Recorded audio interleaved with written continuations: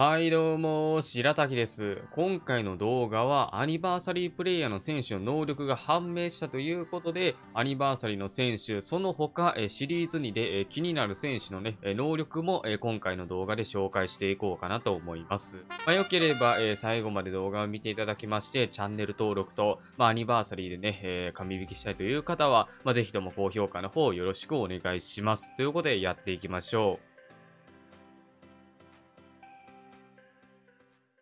9月6日にシリーズ2が解禁されて、えー、通常の S ランクから D ランクの選手が追加されました。まあ、その中に、えー、アニバーサリーの選手もいるということで、まあ、今回の動画で、まあ、アニバ選手、えー、プラス気になる選手の S ランク時の能力、え見ていこうかなと思います。A ランク、B ランク、C ランク、D ランクにある数値をプラスすれば S ランクのね、能力が判明するということで、ヤクルトの方から見ていこうかなと思います。選手名鑑の方に来まして、ヤクルトの方から見ていきたいんですけれども、アニバーサリーで登場する選手が1人います。それが山田哲人選手。で、D ランクということで、プラス30すれば S ランク時の能力が判明します。S ランク時の能力が74、83、79、まあ、シリーズ1の能力ね、見たんですけれども、まあ、ほぼほぼね、変わっていません。で、えー、守備範囲なんですけれども、守備範囲も、えー、25だったかな ?20 か。20か25すれば、えー、守備範囲の数値がわかります。山田哲人選手は守備範囲が、えー、デフォルト D。で、ファーストも、えー、何倍やったか ?20 か。20上がるということで、いい特殊で、え、D にすることができます。まあ、シリーズ1とね、え、同じ能力はほぼほぼ変わっていません。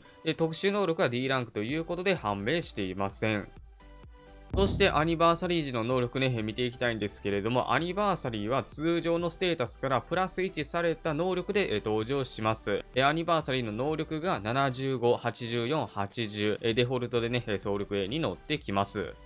阪神で、気になる選手、今のところはいません。で、巨人ね、見ていきたいんですけれども、え皆さんがね、気になっているアニバーサリープレイヤーでは、え4年ぶりかな ?4 年ぶりの、登場になります。坂本勇人選手。B ランクということで、能力値プラス15すれば S ランク時の能力が判明します。エミートから78、77、73。守備範囲なんですけれども、えこちらは、え10プラスすればいいので、え72で登場します。守備適性が B。特殊能力は B ランクということで、第一特殊能力判明しています。え広角打法。S ランク時は超広角打法。で、えアニバーサリー時のね、能力見ていきたいんですけれども、えプラス1すればいいので、79、78、74、で、えー、称号がですね、飛ばし屋の、えー、ミートプラス1、パワープラス2で、えー、ミート A、パワー A の同値にすることができます。えー、通常の場合だと、ミート A、パワー A にすることができません。いや、これね、コナミさん、やっぱ、うん、すごいなと。うん、この通常の場合だと、ミート A、パワー A の同値にできないんですけれども、アニバーサリーの場合だと、えミート A、パワー A の同値にすることができる、まあそういったね、設定で、え能力査定してきました。いや、これ、まあやっぱすごいね、うん、これがね、コナミさんのやり方、いや、賢いね、やり方だと思います。広島見ていきましょう。広島、今のところ気になる選手はいません。え中日なんですけれども、1人ね、気になる選手がいました。C ランクの福選手。福選手の S ランク時の能力が77、72、63。そして、えこちら、九州、ストレート、スライダー、カーブ、フォーク、スクリュー、えー、ほぼね、えー、あまり変わってないんですけれども、第2球種、ツーシームが E から D に変わっています。D はね、結構、えー、まあ、変化量もね、えー、大きいということで、ストレート動く球、ツーシーム動く球、まあ、たまにね、その全国大会で出てくると、えー、あまりね、当たっていないということで、かなり打ちにくい投手になっています。いや、ツーシーム D はね、え、でかいんじゃないのかなと横浜で、えー、気になる選手が、えー、牧選手になります。S ランク時の能力が78、78、65。前回が79、78、えー、まあ、小5で同値にすることができたんですけれども、シリーズには7878の同値で、えー、驚異のスラッガーで、えー、ミート A、パワー A の同値にすることができます。で、守備なんですけれども、適正、えー、サード、ショート、センターが消えて、ファーストとセカンドが、えー、適正になっています。で、守備数値なんですけれども、D ランクということで20プラス、58、特殊で、C にすることができます。パ・リーグの方になりまして、オリックスの選手見ていきましょう。えー、通常の S ランク杉本選手出ています。で、アニバーサリーで、えー、登場することが確定していまして、えー、プラス1の能力が77、81、74、で、称号の、えー、コンタクトヒッターで AA 同値にすることができます。えー、こちらも坂本さんパターンで、えー、通常よりか、えアニバーサリーの方が強くなっています。アニバーサリーは AA 同値ができる。通常は AA 同値ができない。いや、これもう考えたね。杉本選手打率ね、まあ、今シーズン下がっていて、まあ、下がることは確定しているんですけれども、このね、微妙なね、設定をしてきました。これがコナミさんのやり方。This is コナミ。で、えー、守備数値なんですけれども、58、まあ、特殊で C にすることができます。で、得のは広角打法パワーヒッター、え、チャンスが、えー、選抜というね、えー、アニバーサリー専用の、えー、特殊能力に変更されます。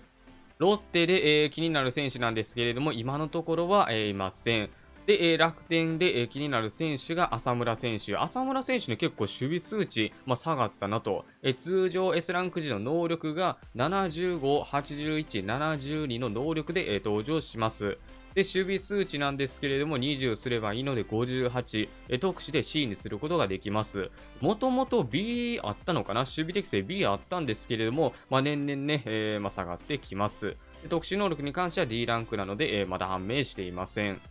ソフトバンク見ていきましょう。アニバーサリーで登場するのが柳田選手。通常が80、81、80。で、アニバーサリー時の能力が81、82、81。称号の切り込み隊長で、えー、全同値にすることができます。久しぶりかな、全同値は。ミート A、パワー A の同値はね、えー、まあ、できたんですけれども、久しぶりの全同値の柳田さんが、まあ、今回ね、シリーズに、ね、登場しました。で、守備適性がね、これ68、69であれば特殊でセンター B にすることができたんですけれども、まあ、68という数値。で、特殊能力、アーティスト、広角打法、めちゃめちゃ強い。で、チャンスが選抜というね、特殊能力に変わります。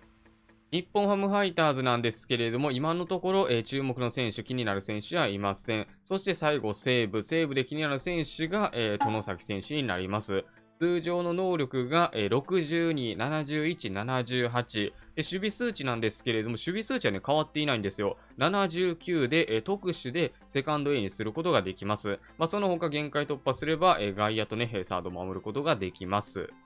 9月6日の追加でいろんな選手のね、能力が判明したんですけれども、まあ、坂本選手、杉本選手がアニバーサリーに対応したね、能力の査定になっていました。まあ、どちらが強いかって言われれば、アニバーサリーの方が強くなっています。まあ、選抜、まあ、第3特の広角打法がね、変更されることもないですし、称号でね、ミート A、パワー A のどっちにすることができるので、通常の坂本さん、通常の杉本さん取るよりかは、まあ、アニバーサリーでね、獲得してもらえればなと思います。アニバーサリーサリーは、60連で、え自チーム確定枠があるので、まあ、坂本さんないしはね、まあ、杉本さん狙って欲しい方はね、狙ってもらえればなと思います。